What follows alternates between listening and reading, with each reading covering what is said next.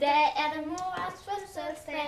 Hurra, hurra, hurra. Musik skal sig en gave for, som hun har ønsket sig i år. Med dejlig chokolade og kager til. Nu det skal du putte ud. Oj, det kunne jeg. Jeg har fire kager. Hvor er den flot. Har I lavet den selv? Farmor har hjulpet os. Nej, det har jeg slet ikke. De har selv lavet den. Og der er op med at sidde liv for dem, Niels. Janni, skal du starte fuldtids på det der? Gud ja, Henning, har du hørt? Hvad?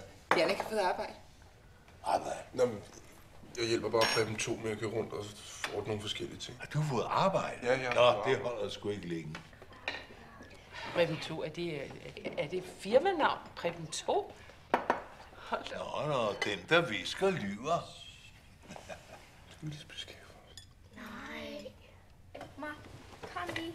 Hvad sker Jeg kommer til at ødelægge noget. Hvad sker Jeg leger lidt med det, og så, så kommer jeg til at træde på ja. det. Så kom nu bare. Nå, sådan noget. så spiser farfar hele den Nej, grimme nej. Ja, farmor skal nok sørge for, at han ikke rører den, før I kommer tilbage.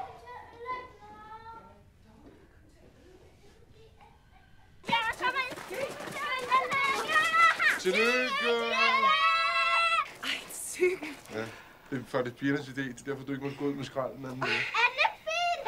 Hvor er den flot. Er det Og der er sådan en lille girafbog der, som Camilla har valgt. Men, men, det kan jeg nu. Ja, ja, skal